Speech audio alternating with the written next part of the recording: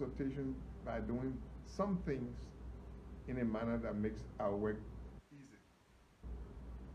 So if, if, if appointments are made, nominations are made, it is expected that the, the appropriate consultations, the, the um, proper investigation, proper scrutiny of those who are nominated would, would have been done by the executive. So, so where we are at the point of disagreement? If, for instance, uh, there was a nominee that was sent here and you totally rejected him, and all of a sudden we saw the same nominee working, meaning that the executive branch was not actually cooperating with this um, House of Elders.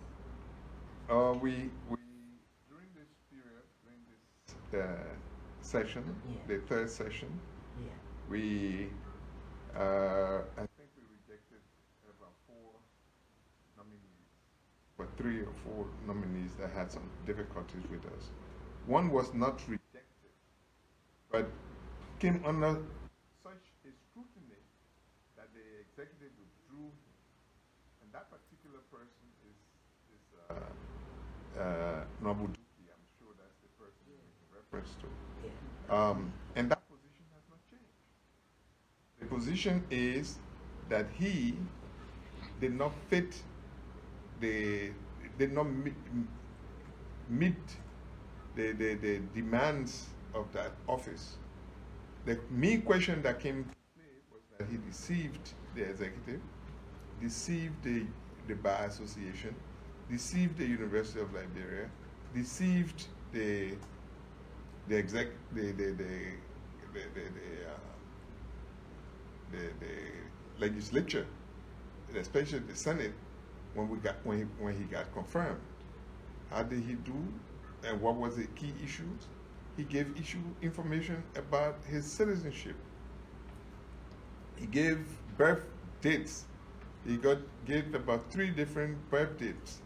And when you come before us, one of the things we look forward to is you must you take an oath in the process you must tell the truth and nothing but the truth and when it is determined that you do not tell the truth then you do not deserve our confidence expect that the president would listen to us in this case the president withdrew him but he went to a position he went back to the position that he occupied when he when he had deceived the executive So, Senator, I'd like for you to summarize.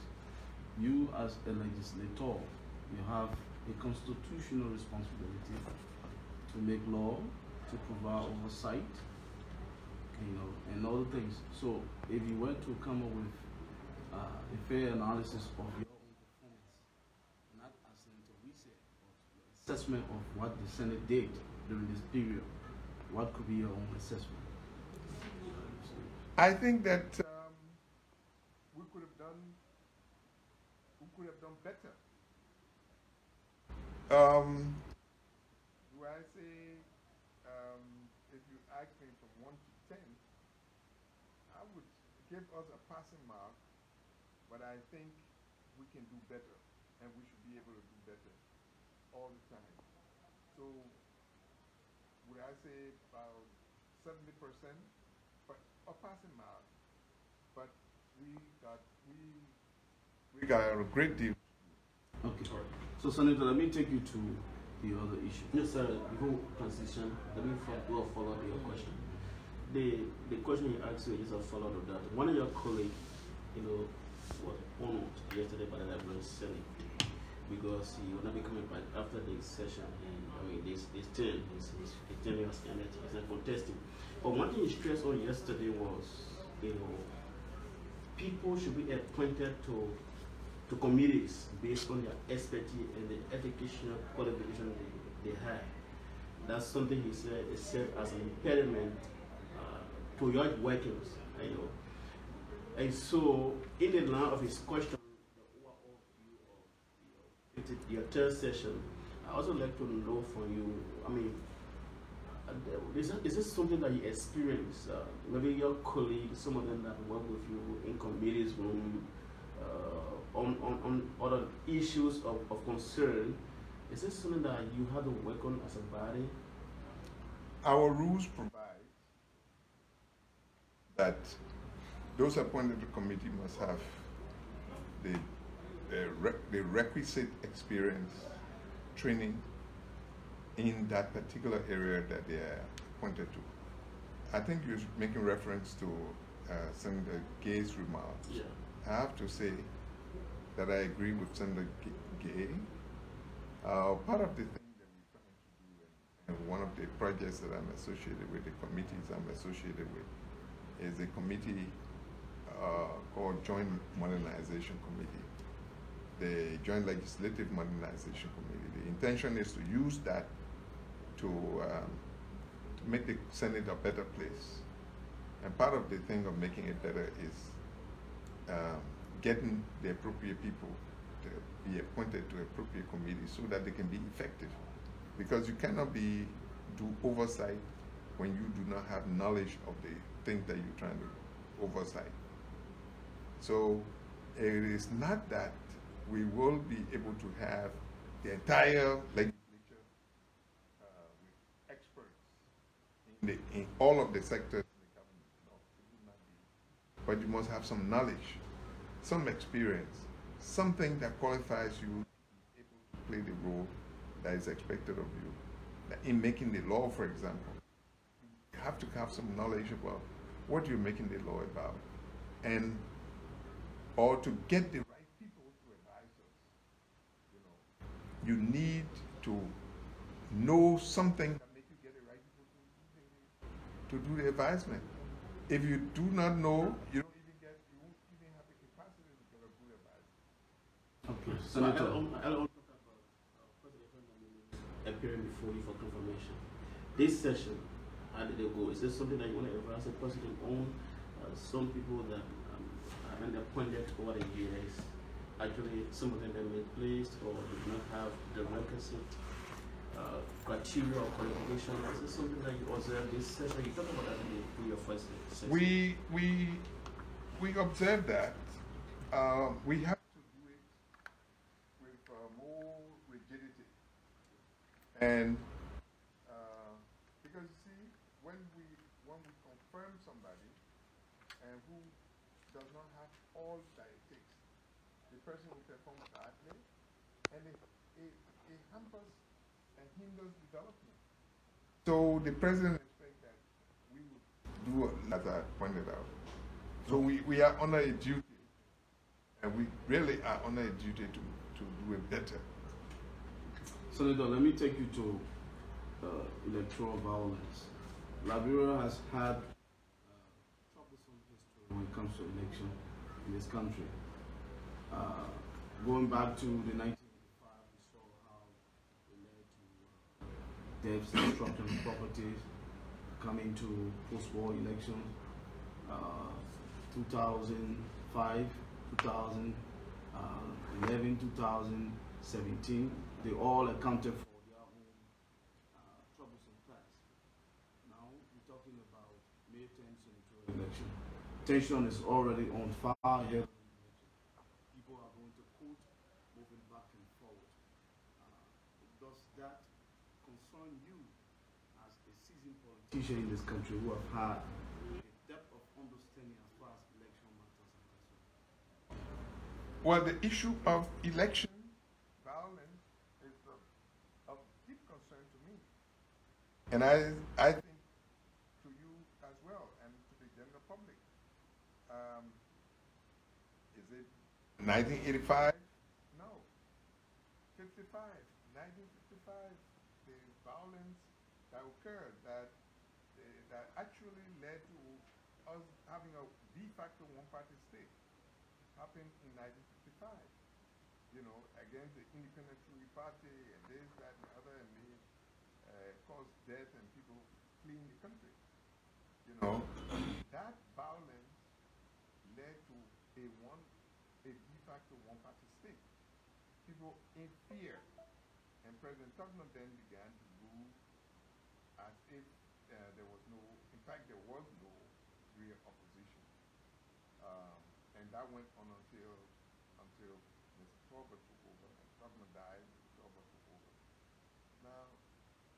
Talk about It is the outcome of 85 and the dissatisfaction that led to people going into the bush to fight and think that they will be able to wrest power through violence.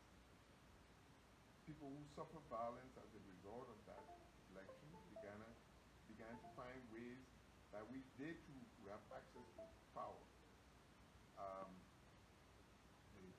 those who were involved in it may not necessarily have been revolutionaries um, who got involved to help transform society. No. But you give them a reason to be able to take on the legitimate grievances, the legitimate grievances of the people to start a process, to start what happened. I mean, they, they believe in trying to really change society. You know, the evidence is there. You know, it, it wasn't, it, it could have been in the minds of some of those who participated, but the overall was just violence, chaos, death, and destruction. We do not want to forget that. We remind people all the time in our, in our deliberations, we remind people that the reason why we're concerned about um, a fight against electoral violence and because you know, you don't just tell the people don't fight. You want to say, this is what you have, the option of doing it better. They have free, fair, democratic elections. That people see the transparency of that election, that they have no choice but to accept the results. There will be some people who might still complain, but you must be able to ensure that what you give to them is free, fair, transparent.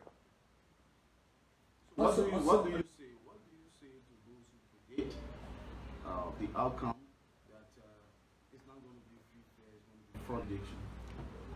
I am.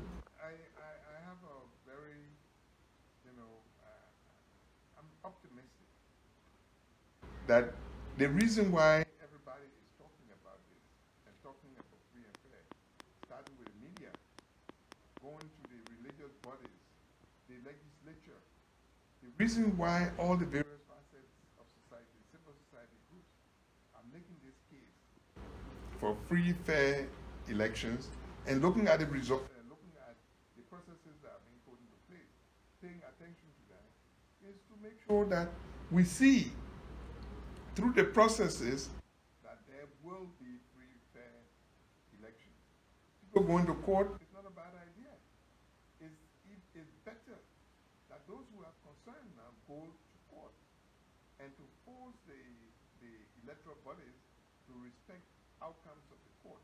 And we ask the courts themselves not to, not to fall prey to political pressures, but to do and take actions consistent with the law. So, so um, there are arguments that uh, some people have already lost confidence in the, our court system. Henceforth, any complaints going there, uh, absolutely, the results are not going to be uh, judicious enough as per what the dictates of the Constitution is. Do you support that argument? Well, eh, that people for, you know, we must never give the, we must never, the courts and everyone involved in this process, must not give the, uh, the people a reason to lose confidence. There will be people who are concerned, and they will continue to have concerns about how the court per- performs. There have been cases, of course, that get people to be suspicious of the, of the court system.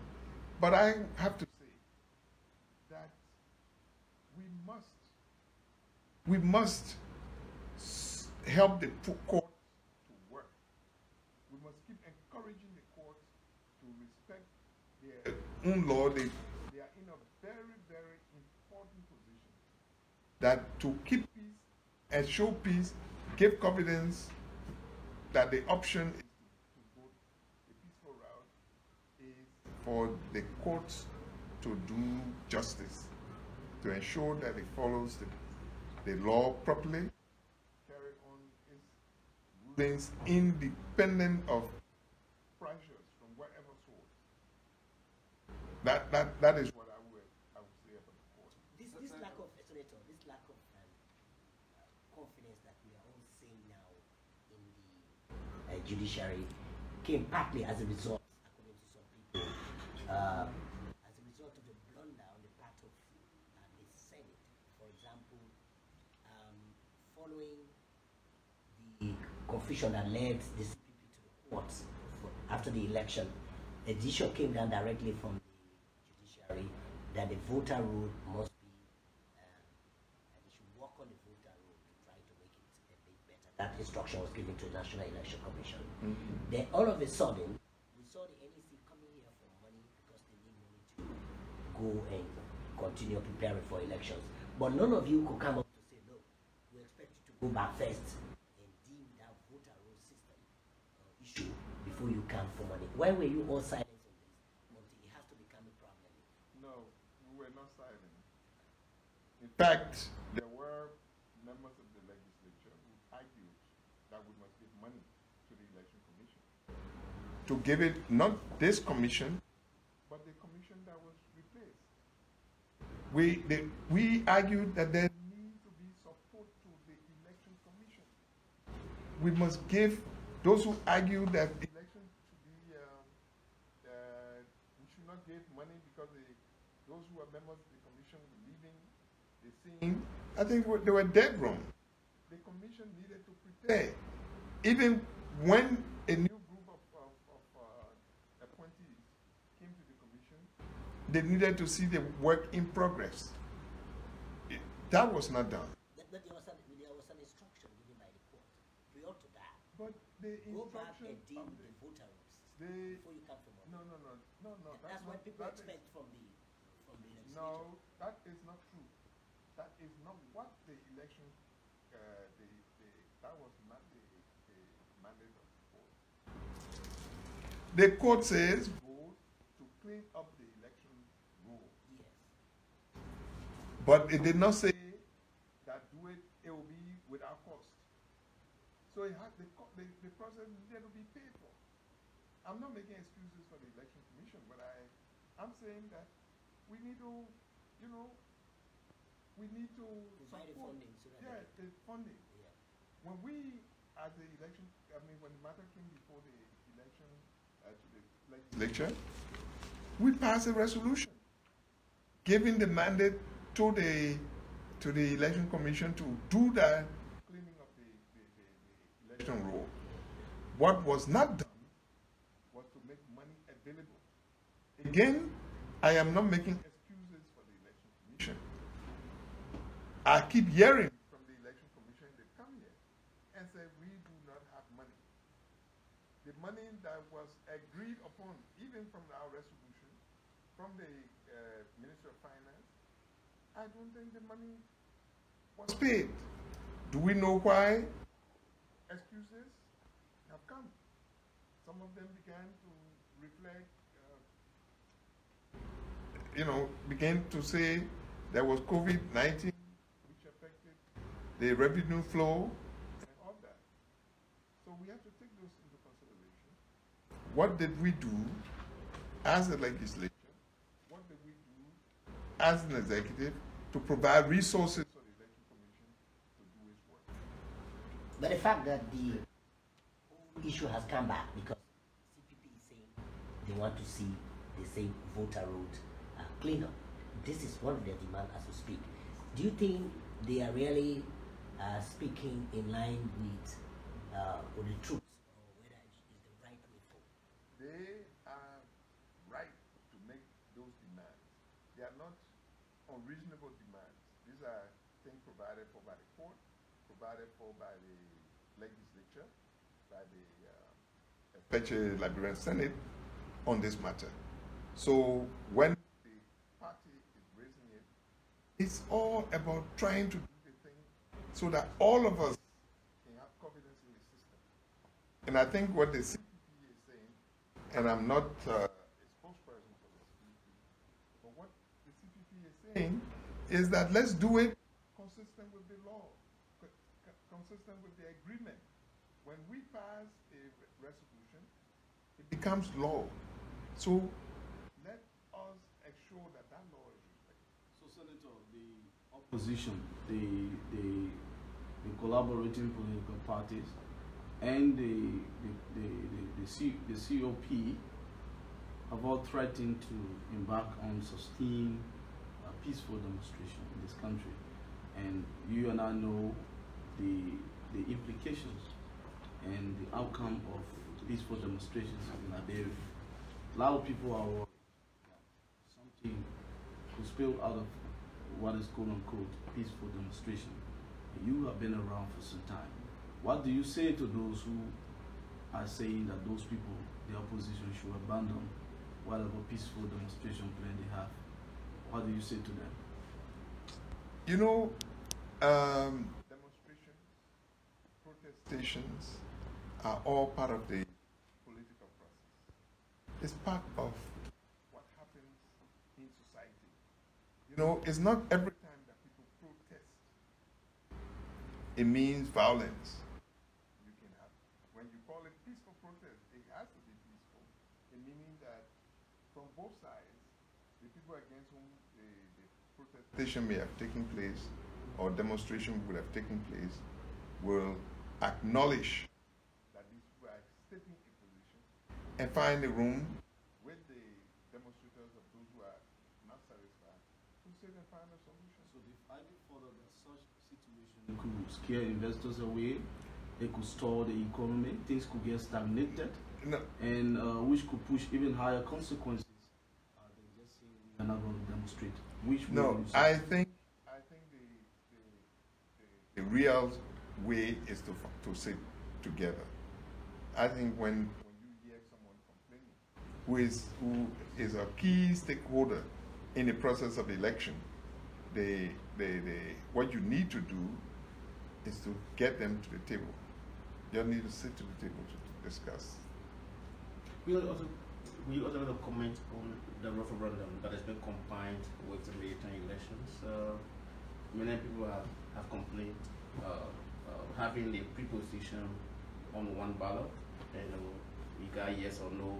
So if you vote for the presidential term, you know, the the senator term, it may agree on all. If you say no, it say no to all. I mean, Senator, just to expound on Yes. this question, a lot of people are saying that this is going to a lot of voters who are already not sufficiently educated about uh, how they should vote, why they should vote on this proposition regarding the referendum, combining that with uh, other important proposals to vote on. There are not sufficient time for them to, to come and really make a good decision, and so the idea of combining it is not a good idea. Do you do you do you do you agree with that argument? I think we've got too many things that we're trying to vote on. And it, it is it is definitely something that will become confusing for a population that is not the most uh, the one that is that got some serious challenges. I think, but that decision is already taken what will happen, what could happen is that people will either not vote properly, not vote, or not vote properly, or just vote against. You know, you know, so we need to look at the process.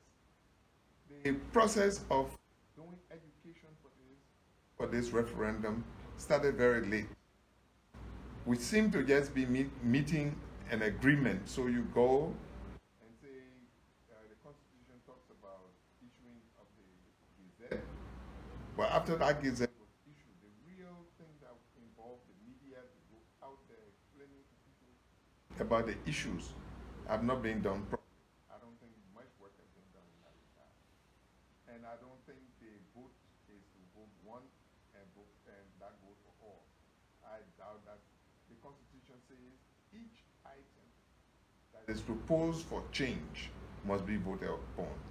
So I don't know when you got that information, that, uh, that one vote will cover all three propositions. I don't think that's the case. The, the government such a process, there is a huge financial burden attached. Uh, don't you see this as a valid argument? Which, which, which is? Uh, combining, uh, the government has argued combining the, the referendum with the other election. no, no, no. That's what, not what I was responding to. The proposals, there are three, is it three or four proposals? Now, Three.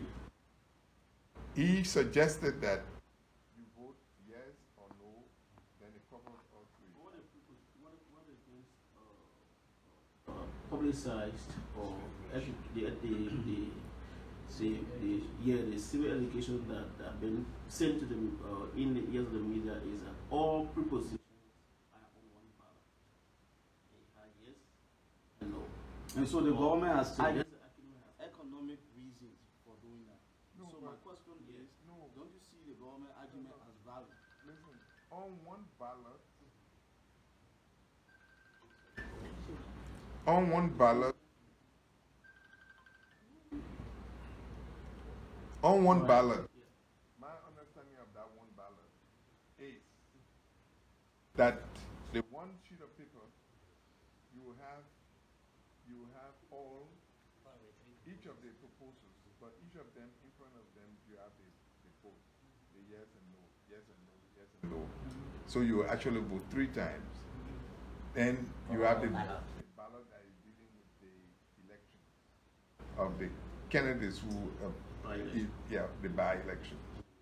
So, so, uh, yeah, sorry, both the midterm, I think they happen ar- around the same time. So, I think people will be challenged, really challenged, to be able to deal with this, this, uh, this, yeah, having that referendum. Senator, I'd like to, you know, treat a little bit of something very important. Uh, one of Liberia's dailies, the Daily Observer newspaper, has alarmed that some of the staffs been receiving, you know, threatening messages, people calling them, threatening them. And so the president has issued a statement, you know, drawing government's attention to that situation, that concern that been raised by the Daily Observer newspaper. Now, my question I want a few people in Liberia today who experience that kind of, you know, intimidation, you know, repression. We've been through it, and you know what it is. You know the story better than many people, you know. So what, what, what do you make you know, news coming again, you know, at this time in 2020? For us to be hearing that newspapers, publishers, and other activists have been called by. Uh, you know, obviously on grounds of what they do in society, advocating for equality, you know, and all of that. What do you make of that? I think that we must not take it lightly. I have, uh, and Daily Observer, the first daily newspaper in our country, have suffered those those uh, those type of things. Uh, daily Observer was burned down during the military regime, and when the Daily Observer editors, publishers, managers were all picked up and put into jail. It was on account of them publishing uh, things about me when I was, uh, when the military picked me up and had me detained uh, and, and banned me like